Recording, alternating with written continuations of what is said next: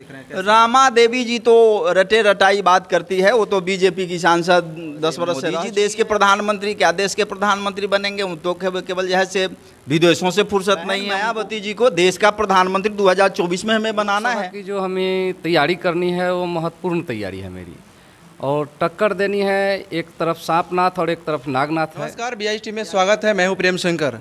जैसे कि अभी बिहार के शिवहर जिला में बहुजन समाज पार्टी के तत्वाधान में लोकसभा स्तरीय कार्यकर्ता सम्मेलन सह प्रशिक्षण का कार्यक्रम चल रहा है।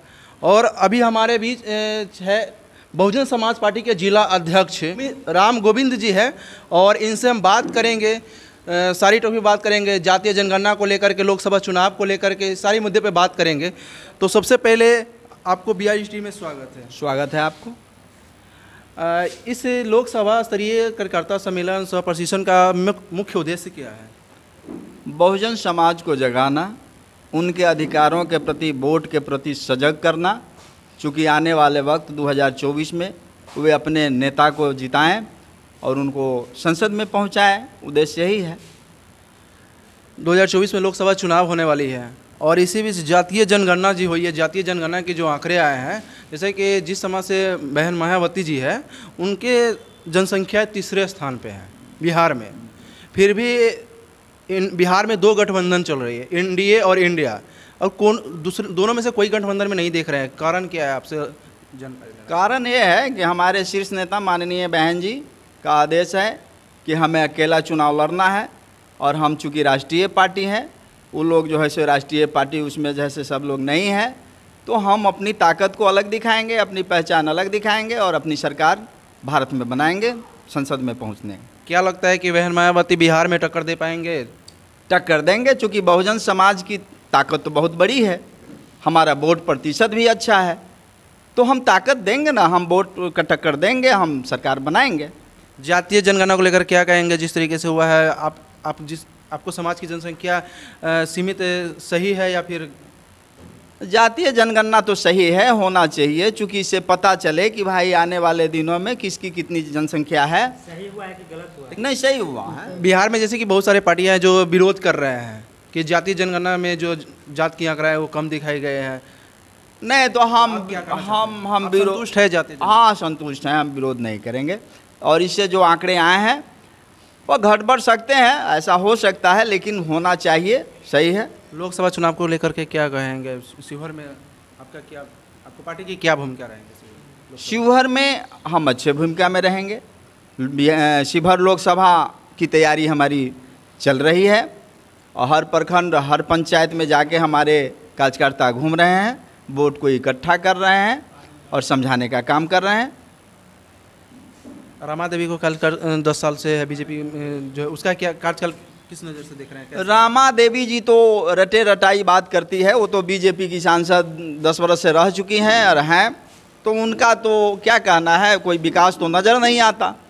अनुसूचित जाति समाज का जो प्रतिशत है, जो उसका, उसको उसको तो कभी टोला मोहल्ला में गई नहीं, कभी किसी को दुख सुख में देखा नहीं।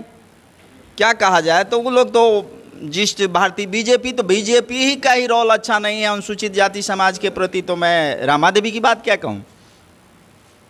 बीजेपी की मंशा ही अच्छी नहीं है।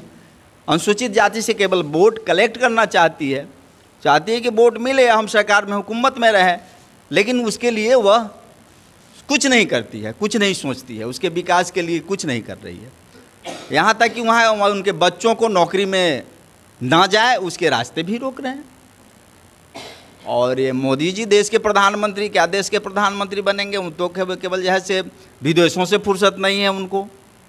और ये बहुजन समाज को कभी देखा नहीं हूँ। उनकी न ऐसी नीति बनी, न ऐसा बजट बना, कभी पेपर में नहीं आया। और न उनके नेता लोग बोलते हैं कि हाँ भाई, बहुजन समाज के लिए कुछ कर रहे हैं, अनुसूचित जाति, जनजाति के लिए कुछ कर रहे हैं, शिक्षा पर खर्च कर रहे हैं, उनके विकास पर खर्च कर रहे हैं, ऐसा तो कुछ नहीं है। क्या संदेश देना चाहते हैं अपने बहुजन समाज को? बहुजन समाज को हम संदेश देना चाहते हैं कि बहुजन समाज हमारे एक प्लेटफॉर्म पर आए और बहुजन की सरकार बनाए। बहन मायावती जी को देश का प्रधानमंत्री 2024 में हमें बनाना है। इस नाते हम कार्यक्रम कर रहे हैं गाँव गाँव जाकर घूम रहे हैं कार्यकर्ता हमारे घूम रहे हैं। चलिए तो और सारे कार्यकर्ता है उनसे भी हम बात करेंगे। क्या कहना चाहिए लोकसभा चुनाव को लेकर के? क्या तैयारी है आप? कहना है कि लोकसभा की जो हमें तैयारी करनी है, वो महत्वपूर्ण तैयारी है मेरी। और टक्कर देनी है, एक तरफ़ सांपनाथ और एक तरफ़ नागनाथ है। यानी हमारे समाज के लिए जो दोनों गठबंधन बनी है, वो दोनों मेरे समाज के लायक गठबंधन है नहीं।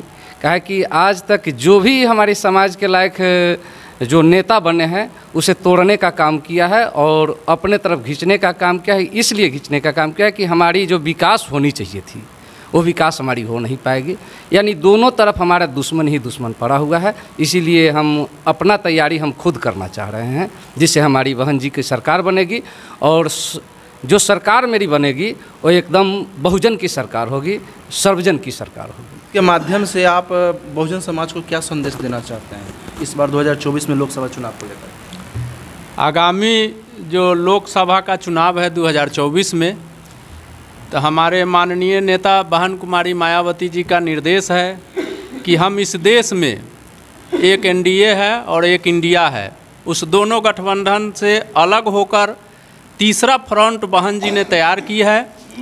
उसमें कई सारे दल हमारे गठबंधन में हैं और इस देश लेवल पर हमारे गठबंधन जो तीसरा फ्रंट है, बड़ी मजबूती से संगठन तैयार किया जा रहा है और इस गठबंधन को मज़बूत किया जा रहा है कि इस देश में हमारा सरकार होगा।